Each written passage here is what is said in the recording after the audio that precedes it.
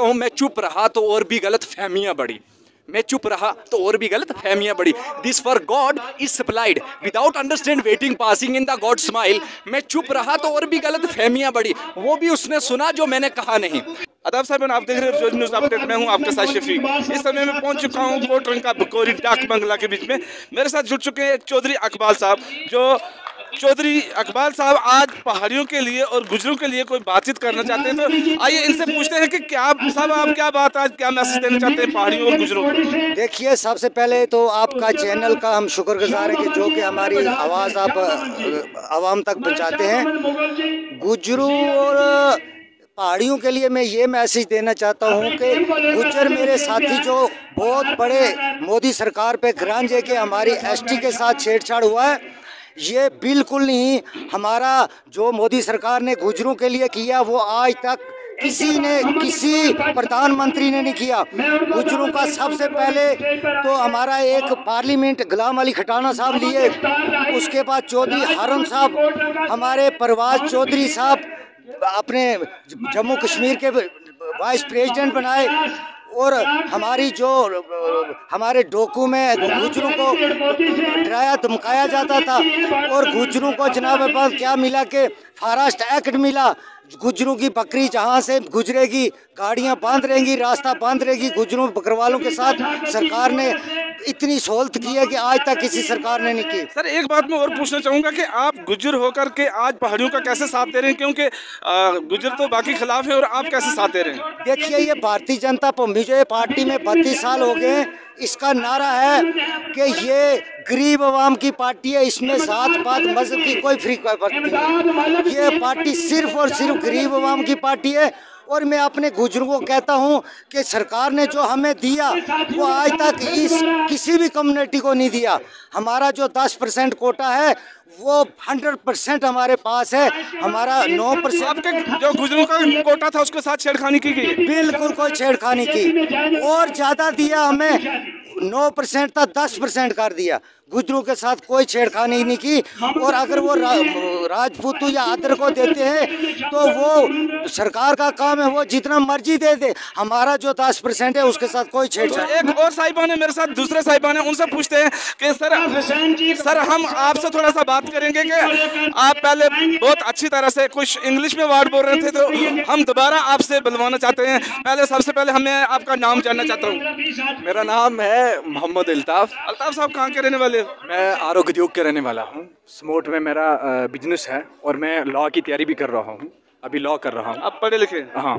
तो अभी जो ये बीजेपी पार्टी है हमें लगता है कि ये ब्यूटीफुल पार्टी है।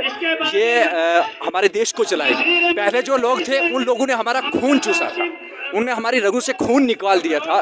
गरीब लोगों से खून निकाल कर हमारी सोच थी, हमारा ही खून था, लेकिन ताकत वो यूज़ करते थे। प्रोटोकॉल वो हमें नहीं देते थे। गरीबों को उन्होंने कोई प्रोटोकॉल नहीं दिया। हमारा हक जो छीन लिए थे, अब नरेंद्र मोदी आए हैं। That remember he is nice person you should remind yourself every day people he is he is nice person mister Narendra Modi translation Hindi ये एक नाइस पर्सन है. हमारे ये हिंदुस्तान के लिए एक अच्छा और ब्यूटीफुल एक मिनिस्टर है जो हमारे देश को चला सकता है.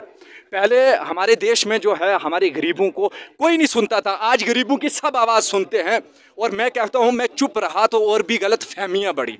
मैं चुप रहा तो और भी गलत, फहमियाँ बढ़ी this for god is supplied without understand waiting passing in the god smile मैं चुप रहा तो और भी गलत, फहमियाँ बढ़ी वो भी उसने सुना जो मैंने कहा नहीं।